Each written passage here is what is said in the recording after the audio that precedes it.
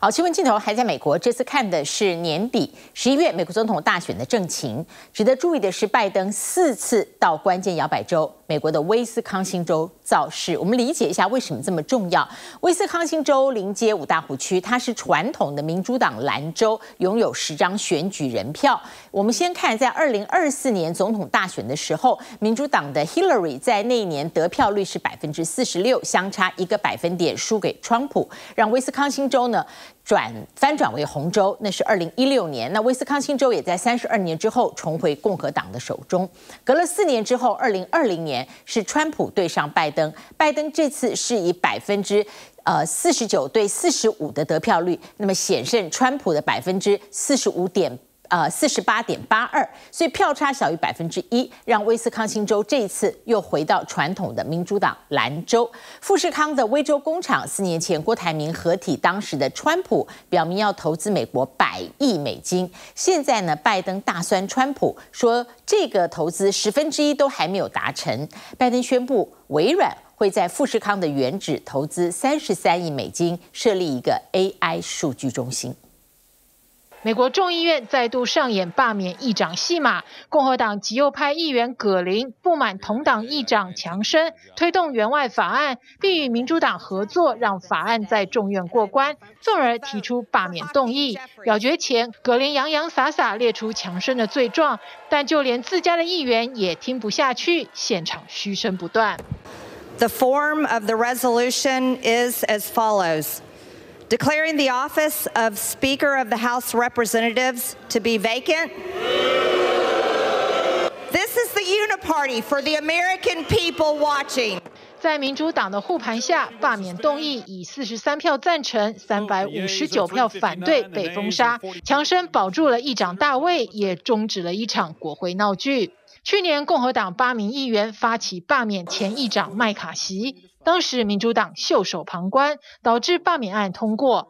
议员葛林又想故技重施，没想到却让自己陷入难堪。I want to say that I appreciate the show of confidence from my colleagues to defeat this misguided effort. Hopefully, this is the end of the personality politics and the frivolous character assassination that has defined the 118th Congress.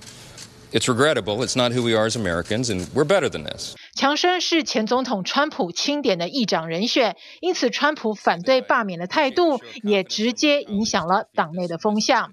川普近日为 A 片女星封口费案忙跑法院，但支持度却丝毫不减。全国总统民调还稍稍领先拜登，其中关键摇摆州威斯康星州，川普超越拜登两个百分点。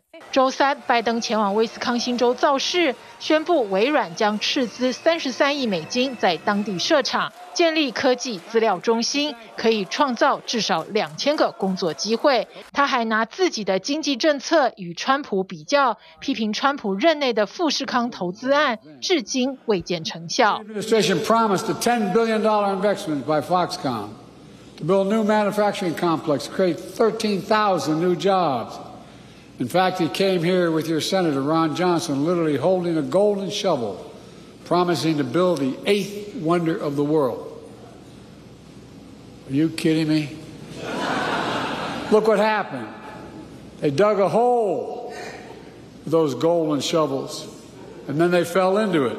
拜登也很得意，任内大力推动基础建设。威斯康星州不少地区正在大兴土木，不过中小企业主并不如拜登乐观，认为经济前景充满不确定性。These are are really uncertain, not knowing what's going to happen with interest rates and what's going to happen with the whole economy. 当地的年轻选民除了对拜登的外交政策不满，也认为拜登的竞选策略主打危机，而非年轻人需要的希望感。What I want is something to vote for, not vote against. Yeah.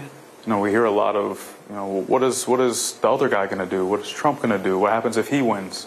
I understand that. You know, I think a lot of us understand the stakes. 拜登和川普都有高龄的问题。现年七十岁的独立总统候选人小劳勃·甘乃迪就以自己比较年轻、更适合当总统作为号召，但他的健康却是最有问题的一个。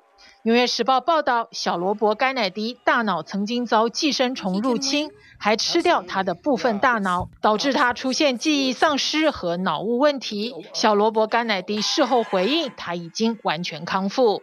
小罗伯·甘乃迪仍在各州冲刺连数，好让自己能登记在选票上。目前他已经获得五个州的参选资格，包括密西根、加州、夏威夷、犹他州和德拉瓦州。他也在另外七个州取得了足够连数。支持者信心满满，相信他会成为美国政坛的第三势力。You think he can win? Absolutely. Yeah. The road is wide open for a third party candidate to be successful this time around. On both sides are waking up and wanting an option. 最新总统民调显示，川普和拜登的支持度都在百分之四十左右，小罗伯·甘乃迪接近百分之八。若顺利取得竞选资格，他的选票将左右拜登和川普的胜负，是绝对不能轻忽的关键力量。TVBS 新闻综合报道。